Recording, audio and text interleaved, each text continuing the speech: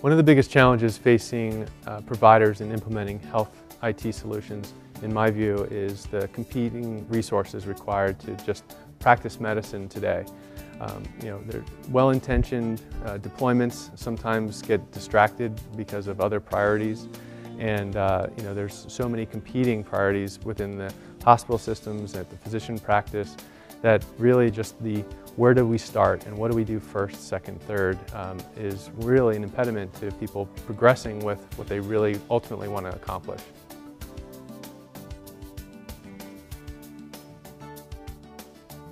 Some of the steps that, that we find ourselves recommending for uh, overcoming some of the challenges with implementing health IT is really to try to have a, a crisp plan of where you want to go so that when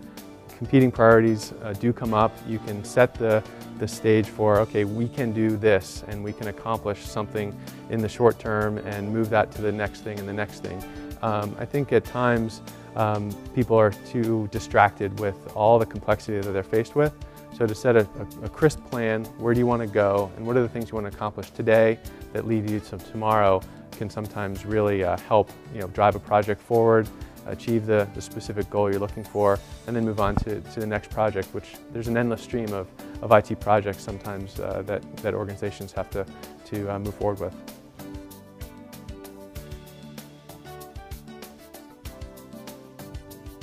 Uh, providers um, are sometimes held back by their own um, you know, nervousness about what to do. So there's a lot of buzz and noise sometimes in the market about what the right path is for health IT uh, deployment. And I think sometimes folks are held back by what is the right thing to do. So what we usually recommend to uh, account for that is you know, a modular approach where you take steps toward an end goal and not have to you know, decide your entire strategy the first day of a project, but to evolve it solve business needs today, and then move to the next business need as it, as it comes up. So if you can do that and you know, start knocking off your business challenges, uh, you're able to really start moving and making progress.